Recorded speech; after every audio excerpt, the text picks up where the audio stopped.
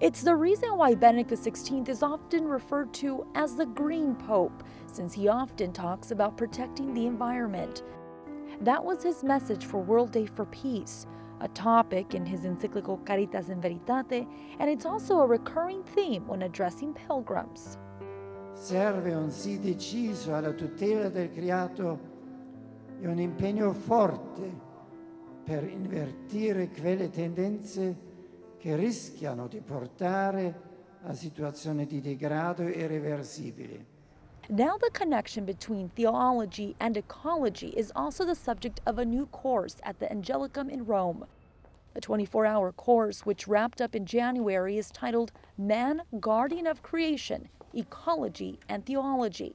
The course was taught by Professor Angela Maria Consentino. Attraverso il creato, l'uomo. Through creation, man can find the great love of the Father, the Creator. According to Consentino, the course goes beyond teaching young people to go green.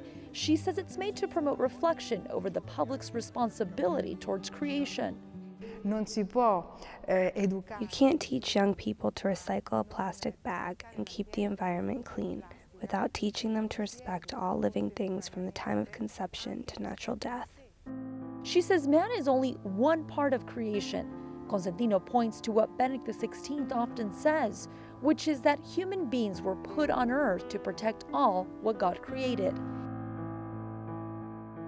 In fact, the Pope often calls for people to connect human ecology with environmental ecology, and that humanity is responsible for protecting Mother Nature, life, love, and the family.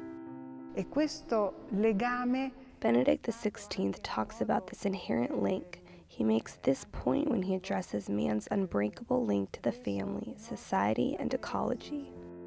She says the Church's doctrine supports the concept that the environment and its protection are connected with essential human development. According to Consentino, this is essential to solve the current environmental crisis. But the link between man and nature in the Church's social doctrine isn't anything new.